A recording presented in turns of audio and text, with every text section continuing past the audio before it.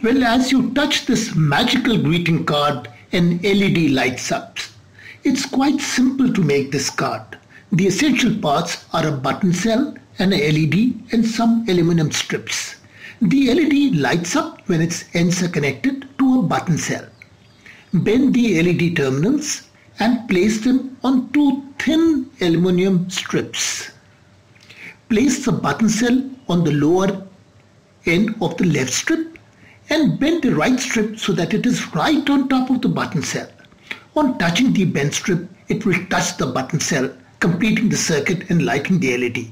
Now you can draw a card, a Christmas tree and place the LED right on top of the tree. The whole circuit will be invisible, hidden between the two layers of the card. And on pressing the button cell, the LED will light up. Now this will make a wonderful gift card.